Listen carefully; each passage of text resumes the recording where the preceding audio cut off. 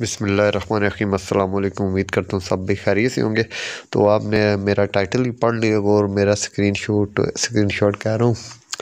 تھم نیل بھی دیکھ لیا ہوگا کہ آج میں نے جس یعنی کہ ٹاپک پہ بات کرنی ہے ٹاپک یہی ہے کہ سزوکی بولان جو بہت دھوم مچی ہوئی تھی سزوکی بولان آ رہی ہے سزوکی بولان آ رہی ہے۔ تو میں نے کہا چلیں آج ہم بھی ویڈیوز بنا دیتے ہیں۔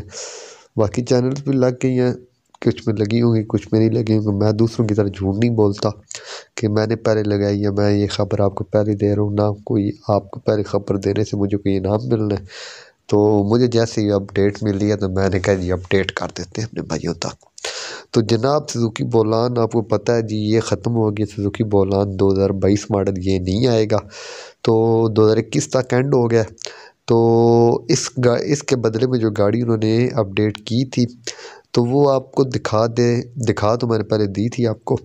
ٹھیک ہے سیون سیٹر سمجھ لیں آپ کو مل رہی ہے پی وی کی کنڈیشن میں یا کاروان جیسی گاڑی مل رہی ہے۔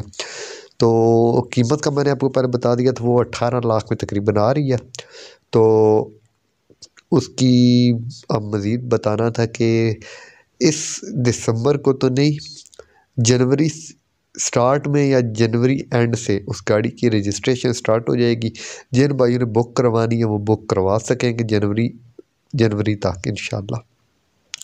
ٹھیک ہے، اگر آپ وہ گاڑی لینا چاہتے ہیں، آپ کو گاڑی پسند ہے، تو جنوری تک انتظار کریں آپ لوگ۔ انشاءاللہ آپ کو مزید اچھی اپڈیٹس ملتی رہیں گی۔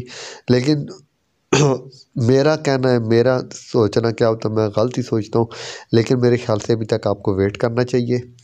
کیونکہ ایک چیز نہیں آئے اس میں سائیڈ افیکٹس بھی آتے ہیں، جیسے ہونڈا آئی تھی سوک اس میں انجن پرابلم آیا تھا یعنی کہ پہلے ماڈلز میں تو دو دو چار گاڑیاں جلی ہوئی تھی۔ تو جو میرے ویورز ہیں، کم از کم وہ تو انتظار کریں۔ جب تک اس کی یعنی کہ آپ کو اچھی اپڈیٹس نہیں مل جاتی، تو گاڑی مہنگی بھی نہیں ہوگی۔ اس کے بعد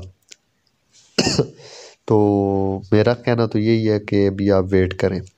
تو ایسی جلد بازی میں بک نہ کروائیے گا کیونکہ میرے ویورز بہت سے ہیں جو مجھے کومنٹس کرتے ہیں یا مجھے واٹس ایپ پہ رابطہ کرتے ہیں، بھائی ہم نے بک کروانی ہے، کب آئے گی؟ تو جنوری لاسٹ میں یا جنوری سٹارٹ میں رجسٹریشن تو اس گاڑی کی سٹارٹ ہو جائے گی، لیکن بک نہ کروائیے گا کیونکہ ایک چیز نہیں آئے تو اس کے سائڈ افیکٹس بھی ہوتے ہیں۔ تو اس کے آپ اگر دیکھ لیں ایڈوانٹیجز بھی اور ڈس ایڈوانٹیجز بھی، پھر اس کے بعد اپنا جو آپ نے ڈیسیجن کرنا لیں تو بہتر رہے گا۔ اگر ویڈیو اچھی لگے تو لائک کریں شیئر کریں چینل کو سبسکرائب کیجیے بغیر نہ جائیے گا اپنے بھائی کو سپورٹ کیجیے گا جتنا ہو سکے آپ کے بھائی کی طبیعت بہت خراب ہے، بہت خراب ہے۔ جتنا ہو سکے دعا کیجیے گا تاکہ مزید اچھی ویڈیوز بھی آپ تک پہنچتی رہے، طبیعت ٹھیک ہوگی تو ویڈیوز بھی پہنچیں گی۔